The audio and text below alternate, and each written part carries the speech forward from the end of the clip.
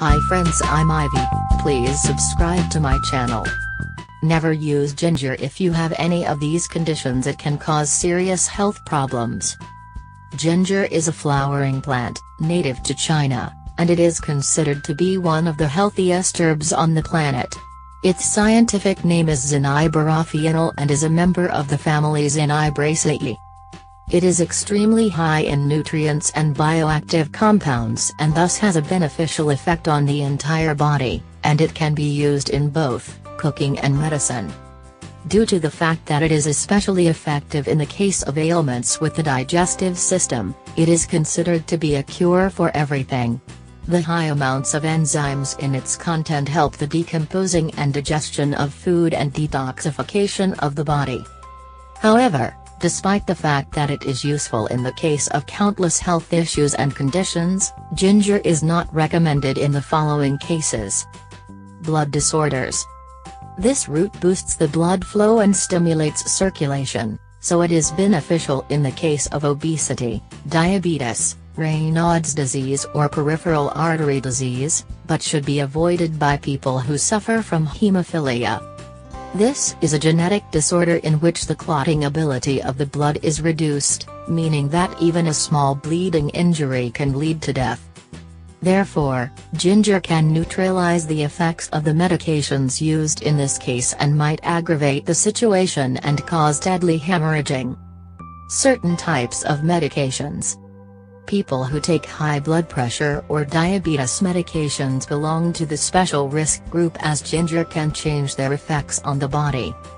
The combinations of ginger with anticoagulants, beta blockers or insulin drugs can be extremely harmful. Namely, ginger stimulates blood thinning and reduces blood pressure, and these properties lower the effects of these medications. Underweight people in case you need to gain some weight, you should not consume ginger nor take ginger-based supplements as this root is high in fibers and raises the pH of the stomach and stimulates digestive enzymes. Therefore, it leads to fat burning and lowers the cravings for food, and might lead to weight loss, menstrual irregularities, hair loss, and poor muscle mass. Pregnancy Ginger is abundant in stimulants which support muscle health and help digestion. However, its use during pregnancy might lead to premature contractions and preterm labors. Note that its use is especially forbidden in the last trimester of pregnancy. Also, consider the fact that it inhibits the absorption of fat-soluble vitamins and dietary iron.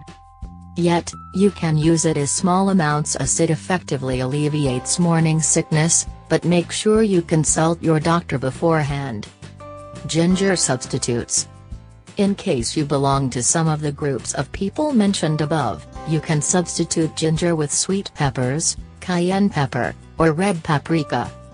Milka Racevic, a world-famous nutritionist, claims that the effects of peppers are similar to the ones of ginger. You can consume red paprika if you love spicy foods, or sweet peppers if you don't. You can prepare cleaning drinks by adding these to your lemonade. Thanks to all of you who are watching me, give it a thumbs up and share it with your friends. Please subscribe to my channel. And please stay tuned for more, for more.